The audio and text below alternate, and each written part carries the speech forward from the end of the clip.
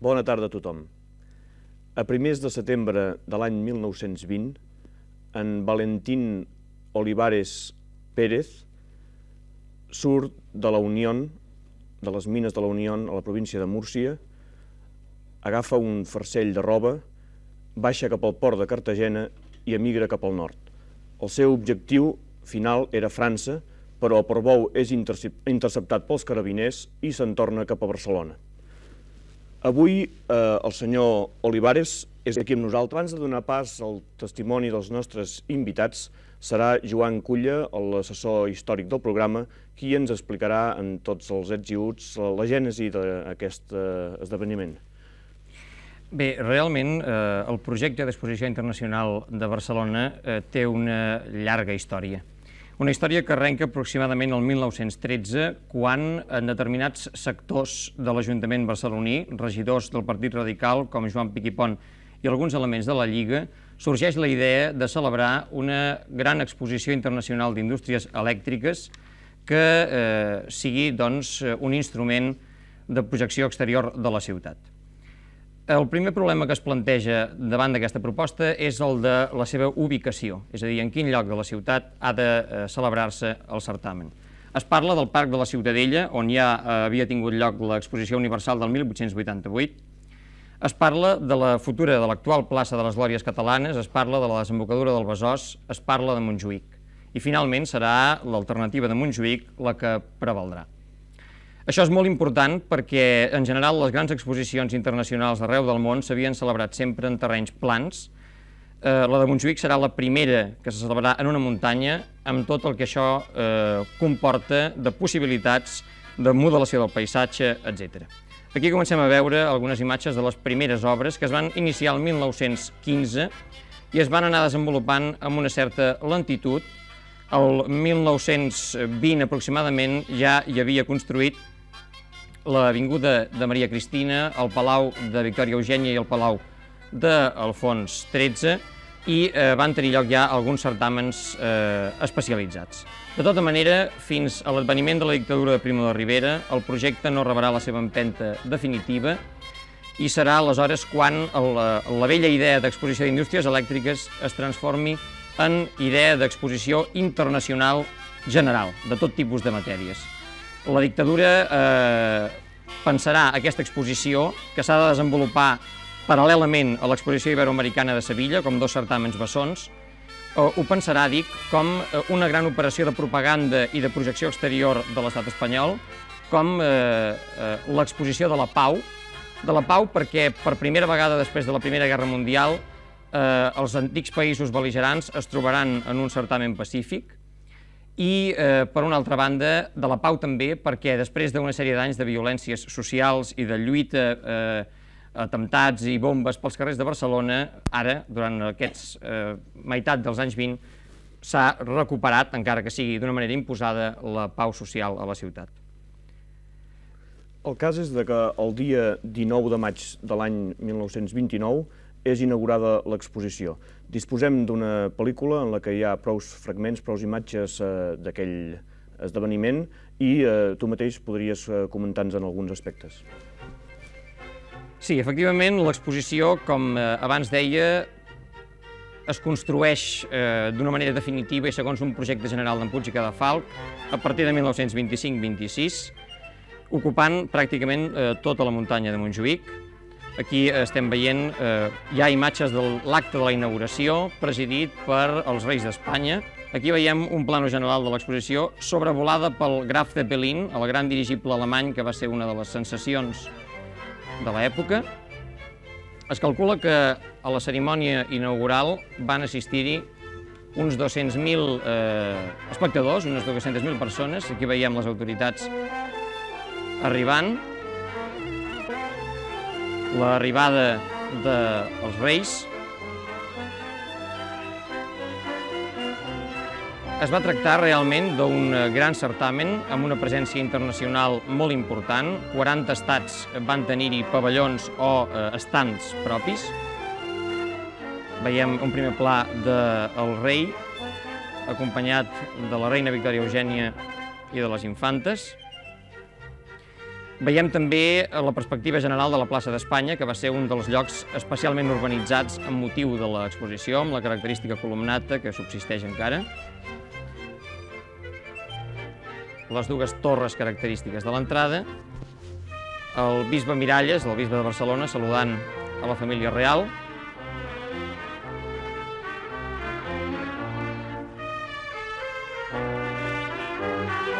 recinte de l'exposició ocupava una superfície de 145 hectàrees i el cost, penso que el cost eh, calculat més aviat a la baixa de les obres va ser de 160 milions, tot i que d'algun aspecte financer de l'exposició potser en podrem parlar més endavant. Aquest és el moment en què el rei, des del balcó del Palau Nacional, declara oficialment inaugurada l'exposició.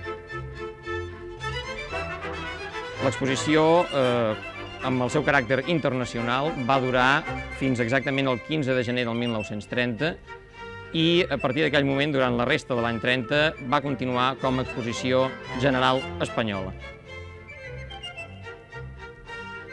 Realment van ser moltes eh, les obres, els eh, edificis construïts en aquell moment. Mm, una bona part d'ells han desaparegut, però n'hi ha d'altres que afortunadament es conserven. Aquí veiem el pavelló de Bèlgica, d'un estil més o menys gòtic flamenc. Aquest és el pavelló d'Hongria, el pavelló de Dinamarca, un dels més moderns des del punt de vista arquitectònic.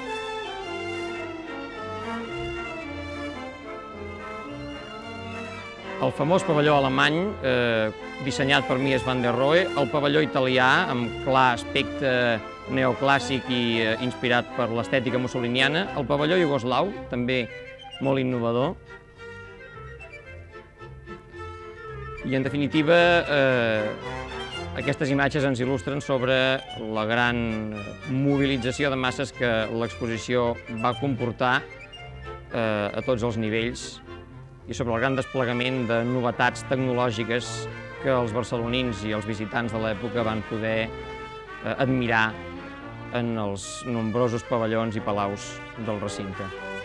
Aquí veiem el rei visitant eh, la secció d'automòbils. L'estadi, que era en el moment de la seva construcció el segon del món en capacitat, després de la, la catedral futbolística de Wembley, i eh, Miramar, el restaurant de l'exposició i actual seu dels de, estudis de televisió espanyola a Barcelona.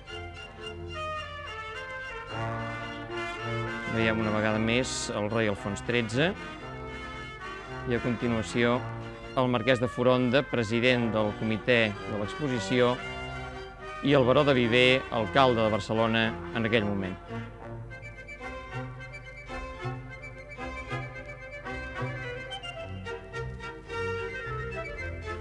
Una vegada més una foto fixa del Graf Zeppelin sobrevolant l'exposició. Al mateix temps podem veure l'aspecte que tenia l'Avinguda de Maria Cristina. Finalment, un aspecte nocturn amb les grans il·luminacions i els reflectors que eren, eh, com veurem de, també després, un dels grans atractius del de, eh, certamen. La plaça de l'Univers il·luminada i el gran sortidor central de dia i de nit.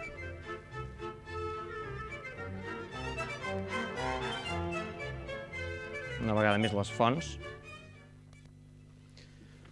Senyor Iglesias, eh, hem vist aquesta pel·lícula, els, els grans pavellons. Vostè hi va tenir una participació directa amb la construcció sí. d'aquests pavellons, jo, degut al seu ofici. Jo, jo com que estava composta el, la primera organització, el senyor Rubió, el senyor Pesagoda, Repentós, eh, Darder i Pujades, topògrafo, ells van començar a preparar en un locals interinos que teníem la preparació de l'exposició. I llavors jo vaig anar fent les maquetes, segons ells van dir. Van fer la, to, la maqueta topogràfica general de l'exposició i després uns estudis de unes maquetes de les centrals elèctriques que tenien un interès llavors de cara a l'exposició, un mapa en relleu amb dues escales, també perquè es veiés l'accidentalitat del terreno i es conegués la situació on hi havia les maquetes, on hi havia les centrals. Luego també es van fer unes columnes que després van ser derrumbades, els capitells, els models, unes columnes de 20 metres, i així es van fer una sèrie de treballs. Per quina causa es van enderrocar aquestes columnes? Man... Per quina causa es van enderrocar aquestes columnes? semblava un sentit polític perquè si es representaven les quatre barres, una cosa una mica estranya. I llavors es va tirar a terra i després va continuar. I llavors vam anar fent la preparació de l'exposició, va fer la primera exposició de, de l'automòbil en el Palau Alfonso XII. Tot això molt de pressa. I, i això mentre anaven fent les preparacions. Els primers palaus que es van fer i el, el Reina Victòria. Perquè les, les obres les van fer contra rellotge, no és així? Sí, Vostè sí, havia d'anar fent maquetes sí, sí, i els arquitectes anar fent... I... Això era el primer departament que teníem al carrer de Lleida, cantonada de l'exposició, on hi ha actualment el, el restaurant aquest el restaurant...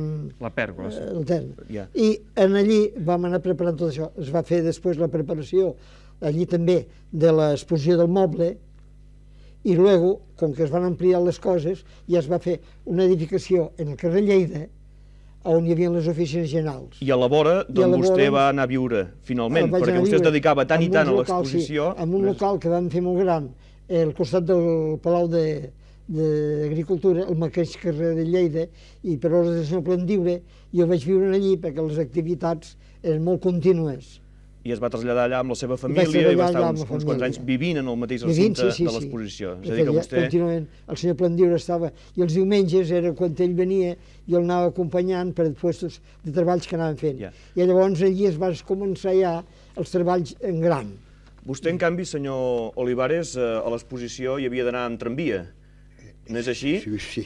Perquè vostè vivia bueno, lluny, no?, a, a la Torrassa. Vivia ja a la Torrassa, ja. sí. I cada dia anava cap a l'exposició. Què hi feia vostè? Què hi anava a fer a l'exposició? Jo a l'exposició, lo que no iba cada dia era a casa, porque empezaba a trabajar a las 8 de la mañana, a las 12 cuando iba a comer, y luego a las 6 empezaba la exposición, hasta que se terminaba. És a dir, quan plegava de la companyia de tramvies, anava cap a l'exposició. Sí, entonces, entonces me daba el lujo de ir un taxi que valía y éramos dos y valía una peseta el trayecto, los taxis Fortuna, y, y, cogíamos un taxi y íbamos a la exposición. Y, y, yo, claro, de la exposición no puedo contar nada más que la muchedumbre, porque he vivido entre ellos. Hay más de un año, desde mayo hasta agosto del año del año de agosto, una, una muchedumbre de allí para cobrar de un sitio, de otro, muchos extranjeros. I Perquè vostè el que feia era cobrar la, les cadires, silla, no? Sí, sí. L'ús de les cadires. Sí, I... les cadires a 25 centí, a 25 céntimos y a 50 y a peseta. Luego hacían festivales en el pueblo español y allí en el pueblo español, pues entonces ya era peseta y había una, unos festivales, pero... Amb, amb espectacle. Pero era grande durante la semana y durante los días de fiesta, particularmente los domingos, la exposición no se cabía allí. Eh. Què era el que li agradava més a la gent? Els visitants, los visitantes quines coses le, els cridaven l'atenció? Lo que más le llamaba la atención era la fuente, las cascadas, los unas cosas que hicieron allí como bolitas, allí como si fuera un bimbo, con esto, es que ellos se entretenían mucho y además se pasaban horas y horas asentados viendo la, la, particularmente de noche cuando cambiaban los juegos del agua, pues allí se pasaban mucho allí. Se asentaven i havia persona que estava allí les dues hores que hi Tenim entès de que una cosa que xocava molt a la gent eren les escales mecàniques. Ah, allí, allí aquello era para reírse, aquello era para reírse. Que viera usted allí que aquello parecía un serpentucio allí la gente dice, ¿cómo es eso? Las escalas que vayan andando solas. Y no, subían algunos, eh, pero a los primeros días allí no se acercaba. Si no, señor Iglesia lo puede decir, que también lo usted, ¿eh, señor Iglesia? Una cosa el, el que, que, tenia. que xocava molt la gent, que impressionava molt, evidentment, eren les fonts, i no només les fonts, sinó tot el conjunt d'aigua i llum que, ah. que envol, les envoltava. Vostè, senyor Iglesias, havia treballat amb l'enginyer Boigues, havia col·laborat ah, amb ell? El senyor Boigues, en el departament que teníem a principis, en allà, als tallers, junt, diguéssim, hi havia el senyor Boigues, feia els estudis, en materials bonament, anava fent provatures amb bombetes, unes palancanes que deixava, anava fent estudis pràctics. Luego també hi havia el senyor eh, Terra, eh, Terrades, Terrades, arquitecte, enginyer, que va fer uns estudis sobre la, la volta catalana, que no es coneixia. I esclar, vam fer, i nosaltres vam col·laborant en la part pràctica de les coses que fem. Luego, les maquetes que vam fer del poble espanyol i les coses de, de, yeah. de l'entrada. Quin, quin ambient? Vostè tenia ocasió de veure l'ambient que hi havia en la plaça de l'Univers, en el recinte de l'exposició? Sí, o estava tancat en la seva secció treballant Bueno, amb els... eh, Quan treballàvem, cada, cada un estava ocupat amb les seves feines i com que nosaltres allí contínuament no ens podíem moure perquè estàvem directament allò, però anaves fent eh, viatges que havies de fer per, per algunes maquetes que s'anaven fent, anaves veient alguna cosa, però hi havia un moviment general i molt entusiasme amb el Ja. personal. Vostè també ho creu així, oi? Y el- el- la Plaza del Universo era una cosa fantástica, fuera de serie, porque habían unas, unas salidas de, de agua de un sitio a otro que si no hacía viento podías te pasar por debajo del agua como, y, y eso iba cambiando en segundo a segundo, igual que las en los semáforos iba cambiando de luz y aquello era fantástico, ¿ves? En aquellos tiempos, ¿eh? para los que teníamos, y además para mí con 29 años entonces también era muy fantástico. Hi havia molts estrangers visitant l'exposició. Molts estrangers van venir a Barcelona. Turistes de, de Uy, d'Espanya. uy, de toda España venía, y extranjeros muchos, muchos, venían muchos extranjeros, particularmente los primeros meses, de abril hasta septiembre, o sea, de mayo hasta septiembre y octubre ya ve- venían. Luego ya todo era eh, de, de de España, los que venían, muchos, de muchas provincias venían muchos, a veces en aquellos tiempos, en las fiestas venían en el tren, venían eso. Entre els visitants estrangers, ja que el senyor Olivares ha tret el tema, va haver-hi algunes personalitats il·lustres, alguns caps d'estat, el president Carmona de Portugal, el president eh, Alvear de la República Argentina i personalitats eh, de la talla doncs, de l'inventor Marconi o del filàntrop i músic alsacià Albert Schweitzer, entre moltíssima altra gent. És a dir, que realment va ser una gran operació de prestigi de Barcelona arreu del món, i especialment a Europa i a Nord-Amèrica. Sí, i tota aquesta, aquesta multitud congregada al recinte de l'exposició, com va reaccionar quan va aparèixer el famós Zeppelin, Oh. que hem vist abans en la pel·lícula? No sé si ese el señor la iglesia estaría. Yo sí que estaba, estaba en el mismo centro de la plaza, en la Fuente Mayor allí, nos quedamos todos a una cosa, porque era una cosa admirable, todos para arriba, parece que Tothom no se, puede- para no, no se podía explicar, porque habíamos visto, yo había visto alguna avioneta de estas que entonces estaban en Sabadell o por ahí, pero no había visto otra cosa, y vemos aquel bicho allí, aquel, aquel globo tan grande, y está, fue sensacional aquello. Ja, tenim entès, senyor Iglesias, que l'exposició internacional, com qualsevol efemèride d'aquest tipus, va generar també alguna mena de corruptela i que vostè coneix eh, sabroses anècdotes a aquest respecte. Coneixia, llavors, el Palau Nacional es va construir bastant amb ciment freixes. L'alcalde Bron de Viver tenia una participació amb la companyia, Una participació molt important. molt important, sí. Diguem-ne que casualment, no? sí. I luego en el poble espanyol també que hi havia el, en Barrera, capità dels Mossos d'Esquadra, que tenia un departament en allà, que ell entrava pel pati del Ferrorillo, a part, i tenia un departament allà, tenia algunes visites allà, i nosaltres fèiem broma que dèiem allò, era el huerto del francès. Ja, eren visites no oficials, unes coses de, passades a, a Alicant. I és que en allà tenia unes visites que dava una cosa una mica desentonada, les visites d'ell en allà.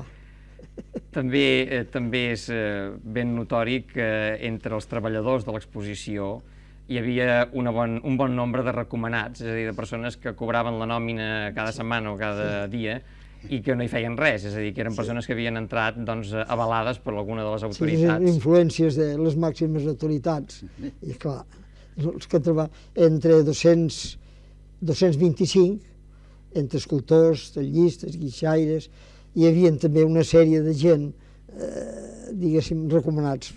Però bé, ultra tot això, eh, no hi ha dubte de que de tota manera l'exposició internacional va mm, reportar uns grans beneficis per Barcelona. Potser, Joan, ens en podries fer un petit resum, un petit balanç. Sí, l'exposició va comportar, evidentment, tota una sèrie de factors positius i negatius, una sèrie de conseqüències, diria. Conseqüències, en primer lloc, demogràfiques, perquè la demanda de mà d'obra generada per l'exposició durant tota la dècada dels 20 va atraure cap a Barcelona desenes de milers d'immigrats procedents, eh, la majoria d'ells, de Múrcia, com el mateix senyor Olivares, i molts també d'Andalusia Oriental. Eh, tota aquesta arribada de treballadors eh, no qualificats, en principi, va modificar el panorama eh, sociològic i lingüístic de Barcelona, sobretot perquè es van concentrar molt en determinades barriades, Hostafranc, Sants, la Torrassa, etc. Eh, amb motiu de tot això, Barcelona arriba al milió d'habitants en aquests anys, entorn de l'any 30, superant àmpliament la població de la capital de l'Estat, la població de Madrid.